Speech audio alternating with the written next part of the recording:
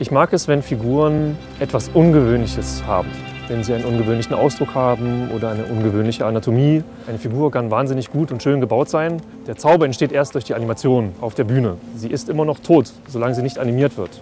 Das heißt, eigentlich verdienen die Spieler und die, die, die, Sprecherin der Figur viel mehr diesen Preis, da sie eigentlich erst den Zauber auf der Bühne entstehen lassen.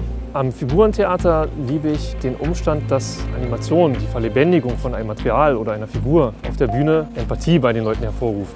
Also eigentlich auch Zuneigung und Liebe. Das trägt sich dann weiter und das finde ich das Tolle an dieser Theaterform, dass das im Menschen entsteht. Mein Name ist Marius Koop. Ich bin Theatermacher, Figurenspieler und Figurenbauer.